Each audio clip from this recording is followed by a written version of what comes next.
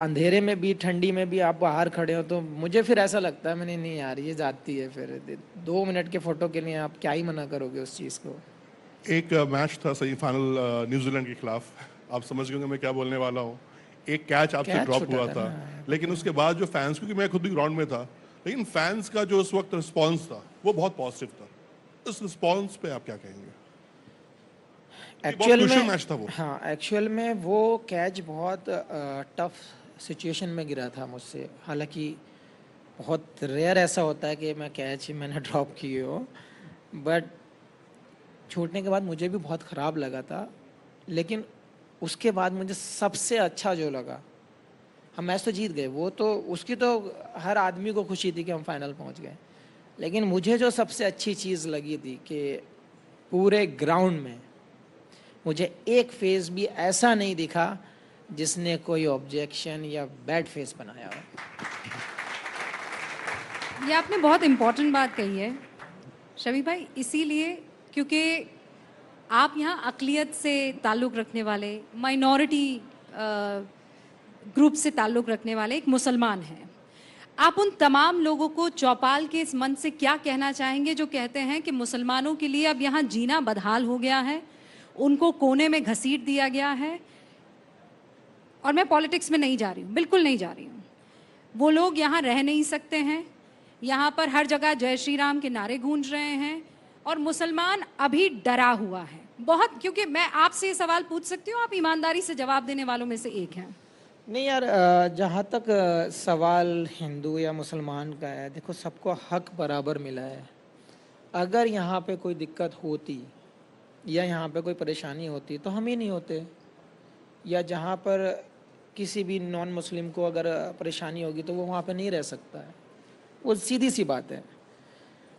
अब जहाँ तक कुछ चीज़ें ऐसी जो क्रिएट आपने सोशल मीडिया पे भी देखी हैं कि जय श्री राम श्री राम के नारे लगे हैं या फिर कुछ दंगे फसाद हुए हैं तो वो लोग चाहते ही वो हैं। उसके उसके अलावा वो लोग कुछ नहीं चाहते। आप मुझे बताइए, मेरे मेरे विलेज की मैं बात करता हूँ, हमारे में आधे आधे लोग हैं। बीच में से एक रोड गई है, आधे इधर है, आधे इधर है। आप यकीन नहीं करोगे, एक दूसरे के जो फेस्टिवल होते हैं, उन पे ऐसे जाते जैसे उनका खुद का फेस्टिवल हो।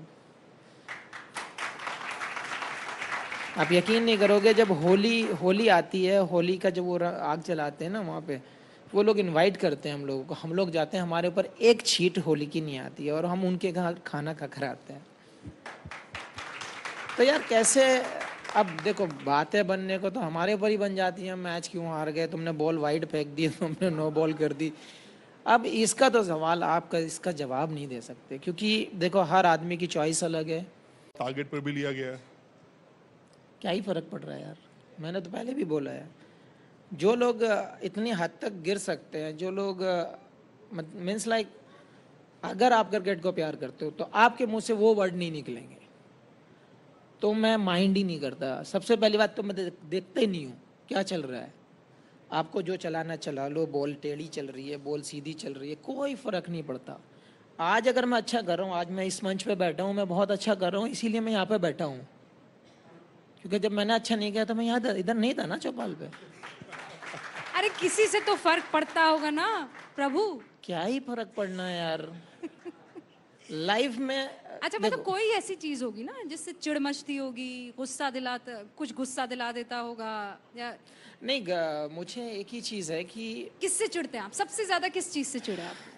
चोरी चकारी से यार। अगर आपका प्रोफेशन है आप अपने प्रोफेशन में अगर आप अपने आप से चोरी कर रहे हो मतलब आप धोखा दे रहे हो सामने वाले को भी फैमिली को भी और खुद को भी। तो मेरे हिसाब से सबसे गंदी चीज़ है वो तो आपको नहीं करना चाहिए, क्योंकि बहुत सारे लोग ऐसे होते हैं कि बहुत स्मार्ट बन के दिखाते हैं। बहुत होते हैं ऐसे, लेकिन पीछे से कैसे हैं वो आपको भी पता होता है कि ये इंसान कैसा है। आप सामने ना बोलो, लेकिन पीछे ज़रूर बोल दोगे उसके, कि इसकी औकात तो मैं पता है। तो वैसा नहीं होना चाहिए। अच्छा एक मैच था आईपीएल में, जिसमें हार्दिक पांड्या ने कुछ आपसे कहा था। उसके बाद हार्दिक पांड्या को आपने क्या कहा था? कसम खाए हुए आज लोग तुम लोग। समझ रहा हूँ मैं। खैर ठीक है। रिएक्शंस आए थे अ, लेकिन मेरे हिसाब से मैंने उसको भी यही बोला था। हालाँकि वो मुझे बहुत रिस्पेक्ट करता है। आप मतलब सोच नहीं सकते जैसे वो मुझे इज़्ज़त देता है। वो तो बिल्कुल मानता हूँ उसको नहीं पता चला वो। हकीकत में उसको नहीं पता चला कि उसने क्या किया है। अब मैं ऐसे देख रहा हूँ मुझे दूर से तो रिएक्शन से पता चल रहा है, ऐसे नहीं पता चला। अब स्क्रीन पे दिखाया तो मुझे लिपसिंग से पता चला। अब मैं बाहर गया, मैंने इधर आ भाई। मैंने क्या किया तूने? ये तो क्या था, शमी भाई, कसम से मुझे नहीं पता चला। मैंने फिर तो बोले, भाई, आप मेरे उसमें कर लेना ऐसे। मैंने तो फिर फ़र्क क्या होगा फिर? मतलब हम लोग पब्लिक को एंटरटेन कर रहे हैं कुल मिलाकर, ऐसा है। मैं तुझे एक ही चीज़ बोली मैंने उसको, जो रिस्पॉन्सिबिलिटी तुझे दी गई है, तुझे बहुत ज़िम्मेदारी उस चीज़ पे निभानी पड़ेगी, बहुत पेशेंस रखना पड़ेगा। और उसने निभाया, आपने देखा कि वो सीज़न आपने चैंपियन हुए, अगले साल हम फाइनल खेले। अब रिएक्शंस का यार, अगर आप दिल पे लेके बैठ जाओ दिल्ली जानी दुश्मनी निकाल के बैठ जाओ तो उसमें तो मुझे नहीं लगता कि वो स्प्रिट है आपके अंदर। गुस्सा क्या बात है आपको? यहाँ भी आपको गुस्सा नहीं है तो गुस्सा कब आता है आपको?